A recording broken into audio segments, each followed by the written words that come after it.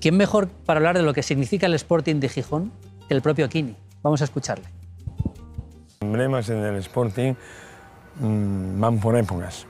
Y el Sporting, como tú bien dices, es un equipo de ciento y pico de años eh, y han pasado muchísimos jugadores muy buenos, muy buenos, muy buenos y que también han sido ídolos.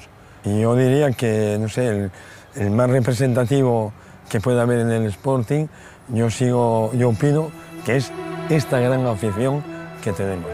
Sin la afición que tiene el Sporting no seríamos nadie.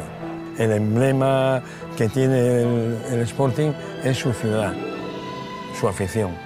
Ese es el emblema porque eso es año tras año y, y que los tenemos aquí. Pasamos todos, ellos no. Bueno, ellos, eh, hay gente que lleva 60 años socio. Eso es lo máximo. Eso no hay un jugador. Eso es la masa social que tiene el Sporting, que es un sentimiento. El Sporting es un sentimiento. Y ese sentimiento es lo que engrandece a este equipo y a la ciudad. Mi ilusión siempre fue ser portero. Pero claro, antes mm, los entrenadores buscaban para portero siempre gente alta. Entonces, claro, yo era un retaco, era pequeñito, entonces, no, tú no, tú para adelante. Y a mí me gustaba ser portero. Pero mi hermano, con ser 16 meses menos que yo, me sacaba la cabeza. Entonces a él los cogían para portero y a mí me echaban para adelante. Bueno, la verdad es que no me vino mal tampoco, ¿no? No era que tuviese un juego preciosista, ni mucho menos, pero era muy positivo. Eh, en el área, pues sabía colocarme. eh, son Distinto. cosas distintas que, que ya nacen con, con uno. Vaya donde vaya, siempre tengo. Bueno, la gente conmigo se porta maravillosamente bien. O los tengo engañados a todos, o, o algo he hecho bien, digo yo. Algo habrás hecho bien. O algo habrá hecho bien. Simplemente es eso. Ser normal, como digo yo, normal y, no sé, y, y querer a la gente, porque además la vida es así, somos todos iguales. Todos iguales. Yo mm, lo que intento es que la imagen del Sporting, ¿eh? si Kini es imagen Sporting, ¿eh? pues quedar siempre el número uno, no me vale quedar el dos. Quiero estar el número uno como en todos los sitios donde vaya a representar, yo soy Sporting. Yo quiero que la imagen del Sporting esté siempre la primera. Es un sentimiento, te dije antes, ¿eh? es un orgullo ser sportinguista. No hay campo en España más bonito que este. Unos serán más grandes, tendrán más capacidad, pero esto es una cocada, ¿eh? esto es una pocholada de campo. es mi casa, es mi casa. ya. A mí me gustaría morir, morir aquí, ahí, en la- ahí en la banda. Si me deis un patatús, puma, pero quedar aquí, pa- patas arriba del Morinón. El Morinón para mí es, es la hostia, es, es lo máximo. Tenemos aquí otro emblema del Sporting también, ¿eh? Ya. Es justo. Te me emociona hasta yo, imagínate. Tremendo, ¿eh, Gustavo? Increíble. Mm. Eh, Sí es cierto lo que dice. O sea, primero tenemos un patrimonio que es nuestra afición, ¿no? Mm. Y después veis lo especial que es, ¿no? O sea, Es que él se nota que era tan, tan, tan, tan genuino, tan humilde, ¿no? Sí, es lo que yo digo. O sea, él no se da cuenta de la dimensión de lo que era Kini. Mm. Pero para todos, ¿eh? O sea, a mí me pasaba, ya te digo, yo tengo una relación personal ya con él, ya desde que estamos en el primer equipo de 41 años, con él y su familia, ¿no? Pero que al final empiezas a mirarlo y el otro día estamos todos impactados, ya digo, de todos los que estamos allí, pero ya no digo eh, en, en todos los sentidos, ¿no? Y te das cuenta de que realmente esa relación era más, o sea, yo decía, es una relación especial, ¿no? Pero al final es, es algo más, ¿no? Y nos deja pff, alguien muy especial. Bueno, vamos a seguir para que te coge un poco de aliento porque eh, nos queda gran parte de, la vida de Kini que repasar y con él y un montón de cosas. Muchas gracias a Gustavo.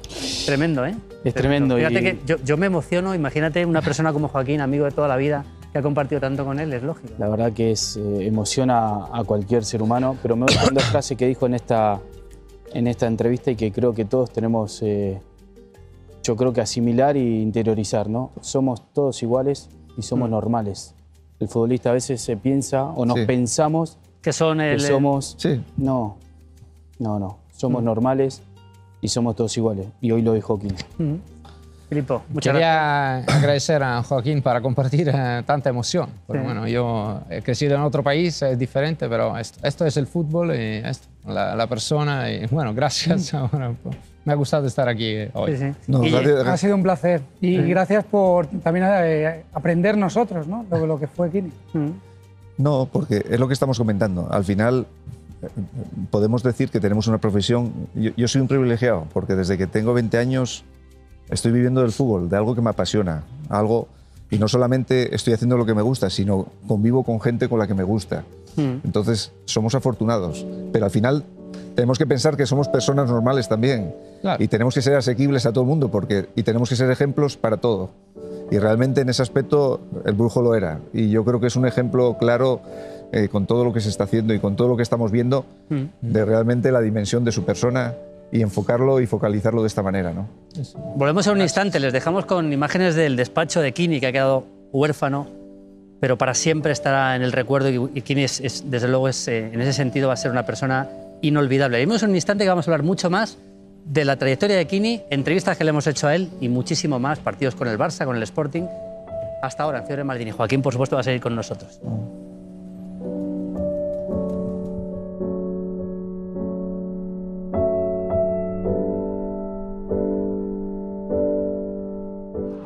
Enrique Castro Quini le llamaban el brujo por su extraña habilidad para hacer goles.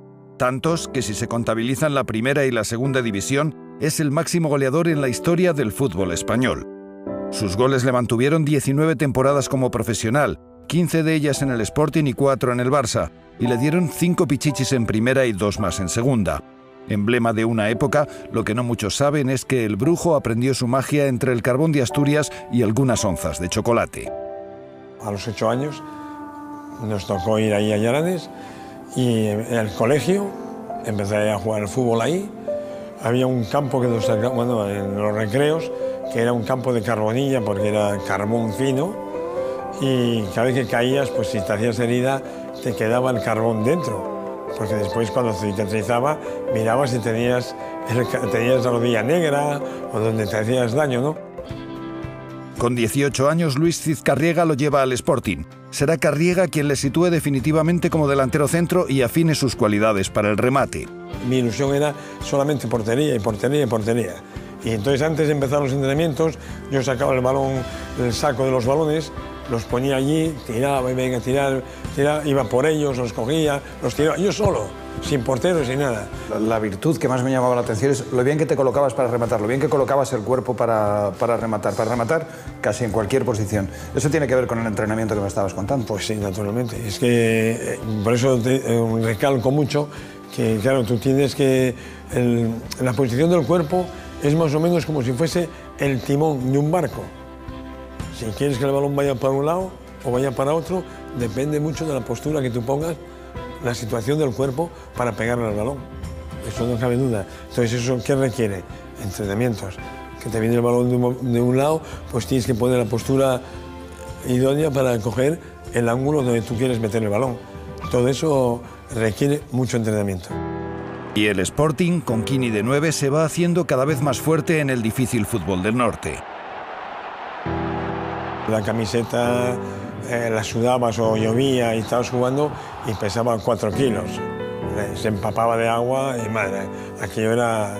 tenías un peso encima impresionante. Los campos, pues también no eran como los que hay ahora. Yo creo que muchos campos que hemos jugado nosotros actualmente se suspenderían los partidos. Eran increíbles. En ese tiempo a Kini le pretenden los grandes, sobre todo el Barça, que busca un delantero centro para colocarlo al lado de Johan Cruyff. Un hombre especial, sobre todo en, en las salidas y frenar. Frenaba, salía muy rápido y frenaba y quedaba clavado y esas, esos cambios de ritmo que hacía eran impresionantes. Mucha velocidad y luego ponía el balón, le pegaba muchas veces de, con el exterior, y, pero era un hombre que no era ambicioso cara al gol, porque él, lo de él era llegar y dejar el balón en bandeja al delantero.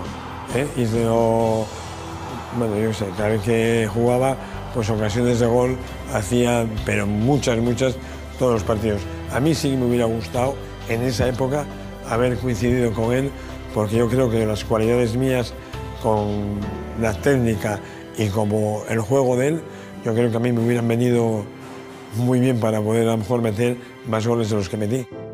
Pero el Sporting ejerce una y otra vez el derecho de retención y se niega a vender. Tú firmabas por un club y en cuanto echabas la firma era eterno, hasta que el club quisiera. Le dabas todo el derecho al club a hacer contigo lo que quisiera. Si se te quería traspasar o no traspasar, todo eso dependía del club en cuanto tú echabas una firma. Entonces, claro, eso a los clubes se vino muy bien y a los clubes modestos, pues naturalmente, mucho mejor todavía, porque si ellos les interesaban, traspasaban y si no, mantenían eh, el equipo. El Molinón vive tres años mágicos en los que el equipo se codea con los grandes, tanto que en el 79 le disputa la liga al Madrid hasta el final. Acabará siendo subcampeón por solo cuatro puntos. Como faltaban poca, pocos partidos para terminar y el Madrid porque tuvo la fortuna de ganarnos en el Molinón 0-1. Pero si no, si, si hubiéramos ganado ese partido, sabe Dios lo que podía haber pasado.